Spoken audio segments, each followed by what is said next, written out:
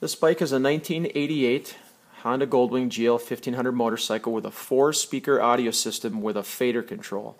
Just want to do a quick video on where your audio connections are on your Goldwing uh, depending on the year of your bike. This is for a GL 1500. There could be some differences. This one is for an early model. This is the first year 1988. Um, you have a main wiring harness along the left side of the bike. It sits right on top of the frame and I'll show you where that is right here. This is your main wiring harness right here, this big thing. It does split off here, which goes to the radio. This is the radio wire, the AM FM radio wire comes into this main harness. We're going to focus on the front left side of the bike. If you follow this wiring harness right here, it goes up in here and it splits into a couple of plugs. You're going to have, this plug doesn't do anything. These two white plugs and there's a black plug that's down inside here. The white ones are for the front speakers, the black plug does the rear speakers. What it does is it comes off this main harness right here on the bottom into this plug. This is your main feeder line. This is only a two channel stereo so it feeds it into the fader and comes out of the fader back into the front. So it goes in, it comes back and loops into this. So this is the bottom of your loop, the start of it as it goes towards the fader, comes out of the fader back into this, and then that goes to the front speakers. It also splits that signal at the fader into this, which is a black plug that goes to your rear speakers.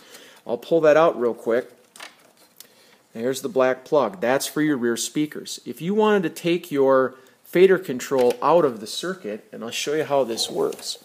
Turn the accessory on. I'll turn on my stereo get some sound. If I use the fader knob, it still cuts the sound because the because this is all still connected. It's still in the loop. So all you have to do to take that out is unplug these two connectors like this. I'll show you how simple that is.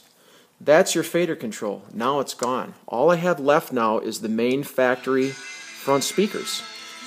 This is a two-channel stereo uh, by design when the fader actually splits the signal and sends it to the rear and actually uses power to do that. If you want the most power possible and the cleanest sound in a two channel, you can split it right here. So why is that useful to you? If you're going to try to split your channel to run an amplifier, you want to run some other audio or anything like that, and you want to cut the fader out of the mix, and you want to know where you can find your signal your clean signal for your two channel, you want to get it down here at this at this first plug. It's easy to tell what it is. All of this stuff here disconnects and it's all connected to one harness. That's how you know it's the fader. And uh, just to give you a quick shot, this is my fader device right here with the knob on it. It's just a little piece of plastic that sits up by the key.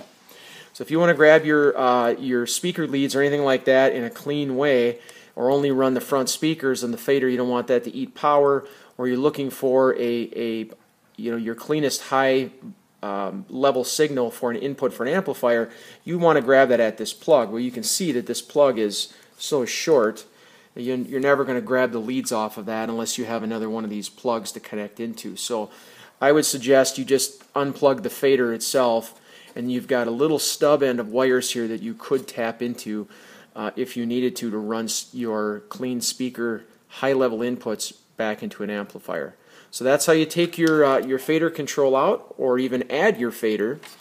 And I'll show you where that black plug is. That's right in there. That's the black plug for the rear. So again, your, your main line, your main harness comes in. This feeds directly off the AM-FM stereo. It splits it off into two white plugs. The one feeds it into the fader, comes back out of the fader, goes to the front and the rear. It just it's just like a like a like a loop. That's how it works. If you have any questions, you can ask comments on the. You can ask some questions in the comments, but otherwise, that is how your fader system is connected to your Goldwing.